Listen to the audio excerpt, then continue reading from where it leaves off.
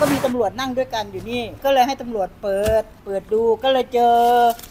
เหี่ยวเหี่ยวอยากฝากเจ้าของที่เขาส่งมาว่าอย่าทำอย่างนี้อีก เงินสามร้อยนะมันไม่รวยหรอก ยายก็ไม่จนหรอก แต่ยายก็เสียใจ เพราะว่ามันไม่ตรงปก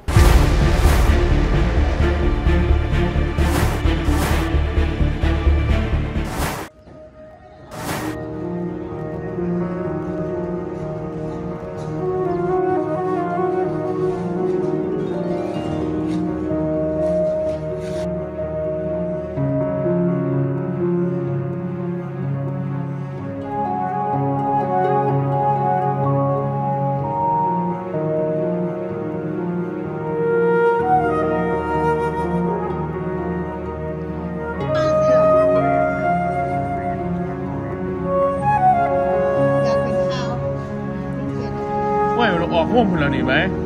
เอาวะ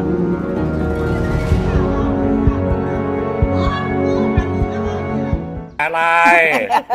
ฮะขาเหี่ยว สั่งขาอะไรมาสั่งขาแดง ปรากฏว่า ได้ขาเหี่ยวมา แล้วขาแดงล่ะ ขาแดงอยู่ไหนไม่รู้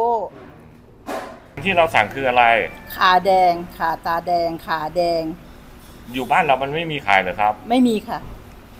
แล้วเขาโปรโมทว่าเป็นขาแดงมาจากที่ไหน เขาไม่บอกว่ามาจากที่ไหนอ่าทำไมเราถึงอะไปอ่าหลงหลงกลสั่งซื้อไม่ได้หลงกลก็คิดว่าเป็นขาเป็นสวนก็ว่าสวนแม่พรอืมก็เลยอยากได้มาปลูก เราสั่งตั้งแต่วันไหนครับ สั่งนานละเป็นอาทิตย์สองอาทิตย์ละอืมแล้วเขาอะนัดเรานัดส่งเขาที่ไหนยังไงครับ อาคารปันน้ำใจสถานีตำรวจภูธรอุดรธานี พอเขาส่งเขาไม่ได้ส่งที่อาคารปันน้ำใจ เขาไปส่งเก้าถนนนเรศวรคือคนส่งเขาโทรหาว่าอ่าที่อยู่ไม่ชัดเขาขอบ้านเลขที่ ก็เลยบอกว่าไม่มีบ้านเลขที่น่ะมัน